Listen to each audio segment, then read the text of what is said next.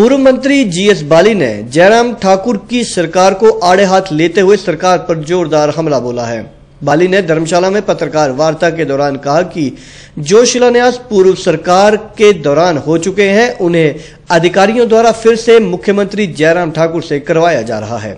उन्होंने कहा कि सरकार को परफॉर्म करने में समय लगता है, लेकिन सरकार उल्टी दिशा में परफॉर्म कर रही है। उन्होंने कहा कि वे मुख्यमंत्री को पत्र लिखकर इस बारे में अवगत करवाएँगे और दोषी अधिकारियों के खिलाफ कार्रवाई की मांग करेंगे। पूर्व परिवहन मंत्री जीएस बाली ने कहा कि प्रदेश में बेरोजगार की संख्या 12 लाख को पार कर गई है और कांग्रेस सरकार ने जो बेरोजगारों के लिए बेरोजगारी भत्ता शुरू किया था, उसे वर्तमान सरकार ने बंद कर दिया है। उन्होंने कहा कि बेरोजगारी भत्ते के लिए उन्होंने अपनी सरकार से लंबी लड़ाई लड़ी थी और यदि अब फिर से आवश्यकता होगी तो वे प्रदेश भर का दौरा कर युवाओं के विचार विमर्श कर इसका रोड मैप तैयार करेंगे। इस बाली ने कहा कि वे सरकार के ऊपर कोई टिप्पणी नहीं करना चाहते थे, लेकिन यदि कुछ गलत होगा तो वे ज़रूर आवाज़ उठाएँगे। उन्होंने कहा कि अभी तक परिवहन विभाग में एसटीए कमेटी का गठन नहीं हुआ है। बावजूद इसके गलत तरीके से कुछ लोगों को फ़ायदा पहुँचाने के लिए बस परमिट वितरित किए जा रहे हैं। उन्होंने कहा कि सरकार बताए कि सरकार किसके दबाव में ऐसा कार्य कर रही है। उन्होंने कहा कि सरकार को बिना किसी दबाव के कार्य करना चाहिए। बाली ने कहा कि उन्होंने परिवहन मंत्री से इस बारे में बात की थी और उन्होंने स्वीकार किया है कि सरकार पर दबाव है तो परिवहन मंत्री बताएँ कि सरकार पर किसका दबाव है। उन्होंने प्रदेश में दिन प्रतिदिन लाचार होती कानून व्यवस्था व कसौली में हुए महिला अधिकारी की हत्या पर भी सरकार पर सवाल उठाए। आप लोगों से मुखातिब हो रहा हूँ क्योंकि I wanted to give them the time कि सरकार को परफॉर्म करने में टाइम लगता है। मगर ये नेगेटिव परफॉर्म करना शुरू हो गई गवर्नमेंट उल्टा चल रही है कुछ काम किया नहीं है। जो अच्छा मैं, मैं एक मुख्यमंत्री जी को अलग से भी चिट्ठी भी लिख रहा हूँ मैं भाई जो चीज़ें बन चुकी है जो प्रोजेक्ट हो चुके हैं जिनका पैसा तीन साल पहले आ चुका है उनके ऊपर मुख्यमंत्री से अधिकारी जो है वो फट्टे लगवाए जा रहे हैं। जहाँ पे ऑलरेडी इनग्रेशन हो चुकी है।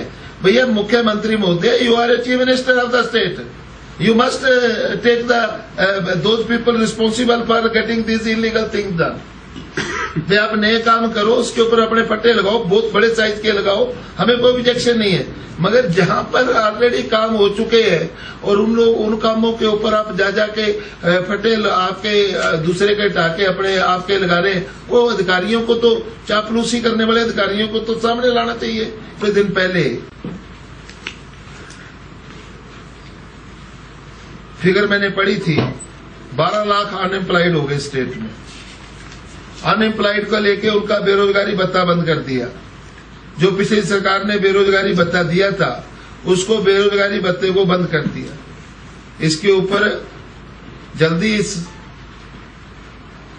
जैसे टाइम आएगा अभी, मुझे द्वारा से पूरे प्रदेश में जाना पड़ेगा। और फिर से द्वारा इसके ऊपर जो है, जो युवा है, उनसे बातचीत करके क्या इसका रोड मैप होगा, क्योंकि उसकी मैंने बड़ी लड़ाई जो थी, ये रोज़गार भत्ता दिलाने के लिए लड़ी थी। ये कमेटी बनी नहीं है एसटीए और एसटीए ने परमिट जो है, वो दे दिए डांगू बाया पठानकोट करके। तो कुछ लोगों को मदद करने के लिए सरकार के जो मंत्री है, मैंने अपने मंत्री को फ़ोन किया था कि भैया, ये ऐसे ऐसे काम मत होने दो। उसको उन्होंने मुझे कहा था कि नहीं, मैं बिल्कुल देखूँगा इसको। मगर उसके बाद एचआरटीसी के लोग मिले कभी का मंडी आ जाओ, कुल्लू आ जाओ, फलानी जगह आ जाओ। भाई आपने, ये कौन सा दबाव है? फिर कह रहे, दबाव है। दबाव किसका दबाव है? इलीगल काम करने के लिए किसका दबाव है? बताए लोगों के बीच में कि फलाने व्यक्ति का, जब फलानी संस्था का दबाव हमारे ऊपर कि हमें इलीगल काम करना पड़ रहे हैं। Government has to function without the pressure सरकार के ऊपर प्रेशर आना शुरू हो गया तो ये तो नई व्यवस्था शुरू हो गई। ये प्रेशर आना शुरू हो गया गवर्नमेंट के ऊपर। And government is working under pressure किस व्यक्ति का प्रेशर है? मंत्री और लोग कि, कि, किस किसका प्रेशर कह रहे हैं? तो कौन सा प्रेशर है? अभी पाँच महीने सरकार को आए हुए हुए मैं बिल्कुल सरकार के ऊपर कोई टिप्पणी नहीं करना चाह रहा था।